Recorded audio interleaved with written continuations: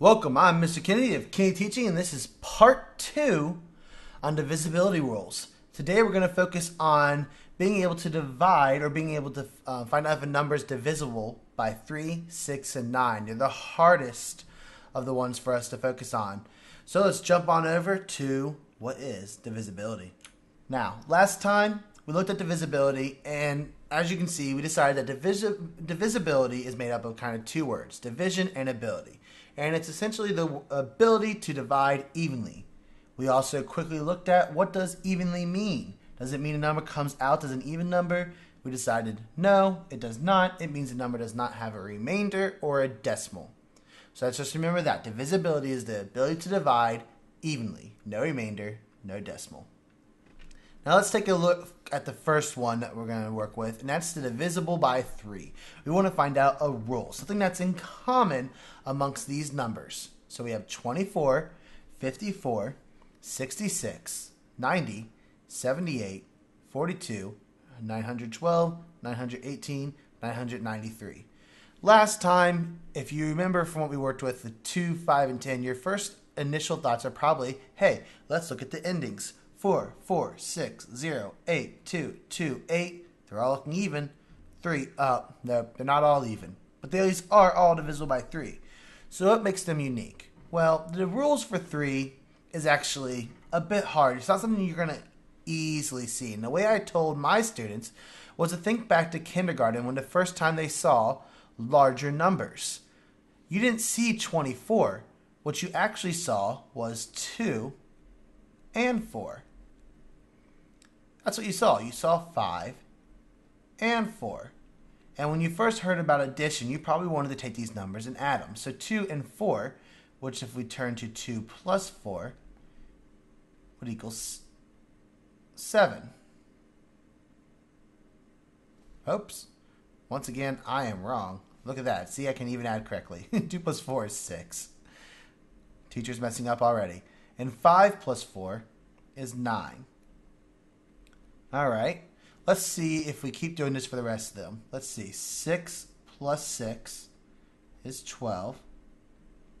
9 plus 0 equals 9. 7 plus 8 equals 15. 4 plus 2 equals 6. Let's stop there for now. 6, 9, 12, 9, 15, 6.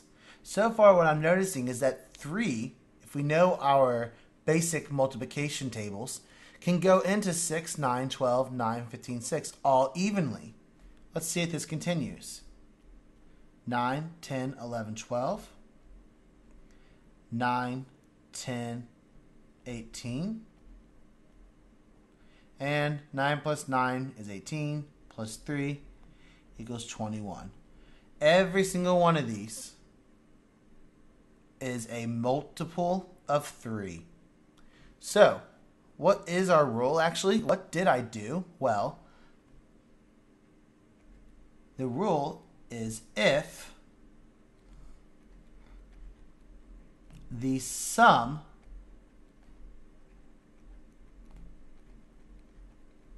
of the digits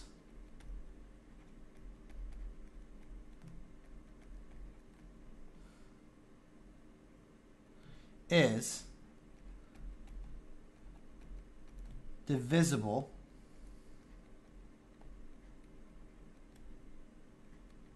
by 3. Or in other words, if the sum of the digits is a multiple of 3. That's another way to look at it. 6, 9, 12, 15, 12, 18, 21. They're all multiples of 3. So if the sum of the digits is a multiple of 3 or is divisible by 3, then that number is also. So since 2 plus 4 equals 6 and 3 can go into 6 evenly, that means 3 can also go into 24. 3 can go into 54, into 66, 90, and so on and so forth. 3 can go into all these because it can go into the sum of its digits. That's the rule for that. Let's move on to divisible by 9. And the reason why I moved on to divisible by 9 is if you can remember in your head that 9 is like 3, with 9, then it's simple. And it is. 7 plus 2 equals 9. 4 plus 5 Remember, I'm adding here, so let's not get confused.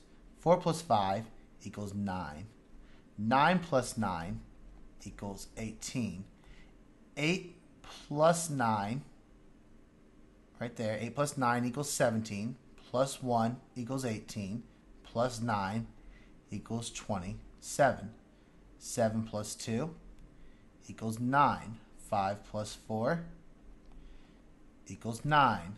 6 plus 1 is 7, plus 0, 7, plus 2, 9. 4 plus 0, plus 0, plus 5, 9. 2 plus 6 is 8 plus 5, 13, plus another 5 equals 18. As you can quickly see, 9, 18, 27, 9, 18s, they're all multiples of 9. Or in other words, these are all divisible by 9. Thus, 27, 45, 99, all that is also divisible by 9. So just like 3, the rule is if the sum of the digits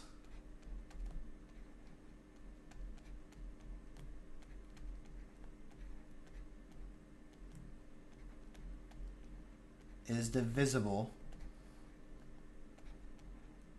by 9.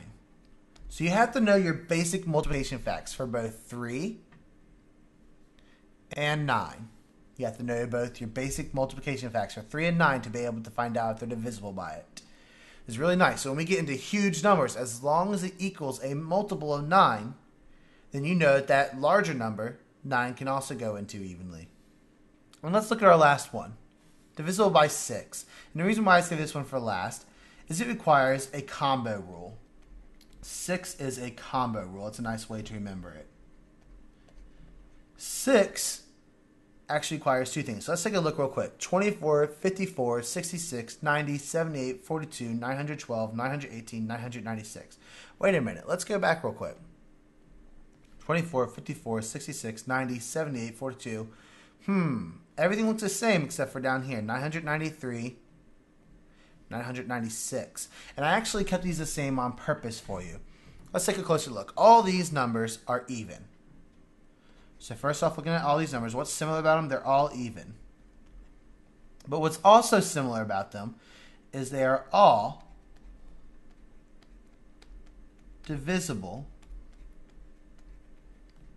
by 3. 4, 5, 6. 5 plus 4 is 9. 6 plus 6 is 12. 9 plus 0 is 9. See if we continue, even down here, even the last one that got changed. 9 plus 9 is 18. Plus 6 is 24.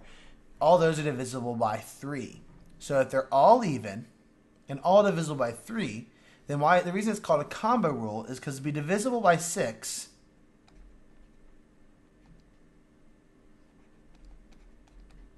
the rule is if the number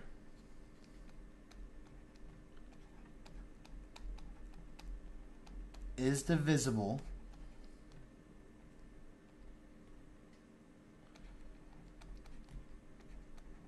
by both 2 and 3. If you remember, 2 from last time was they're all even. So if the number is divisible by 2 and 3, then it is divisible by 6.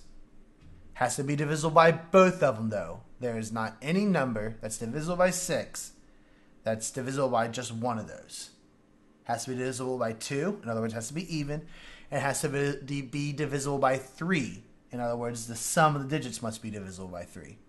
If you find both those rules, you combine them, that means it's also divisible by 6. That about does it for the divisibility rules. If you're out there wondering for numbers like 4, 7, and 8? Well, those are a bit more complicated, and it's best just to remember your basic multiplication facts from that point. So, I hope this helped you greatly. Hope it's useful to you, and I'll see you next time. If you did not watch part one of the divisibility rules for 2, 5, and 10 and are still asking about them, you should go find my video on that and watch it as well. Have a good day.